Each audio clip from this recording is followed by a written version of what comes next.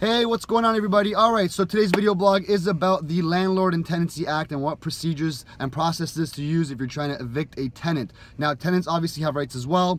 Landlord and Tenancy Act states everything. Feel free to uh, take a look as to what temperatures you know the property has to be at at all times. Um, the, the right to be able to enjoy the property without being hassled. Your landlord doesn't have the right to walk into your property unless there is an extreme emergency, such as a plumbing issue or something that needs to be dealt with right away. Other than that, your tenant needs to be notified by 24 hours in writing regarding any visits or showings.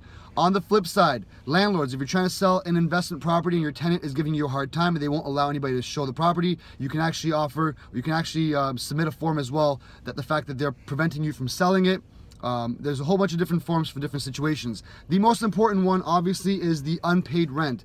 If your tenant is late on paying rent on the first day, when you go to collect the rent, you go with an N4 form right away. N4 form is for non-payment of rent. Because if you don't do it the first, second, or third time and you start getting sick of it, and after six months you're like, you know what, this is getting out of hand, you've actually set the precedent to let the tenant get used to the fact that they can pay their rent late. Okay, so whenever they come by, you're gonna you're gonna pay your rent. They say, oh, I've got this story. This is why I can't pay it. No problem. Here's your N4 form. Once you've paid up, that N4 form is uh, null and void, and you move on your way.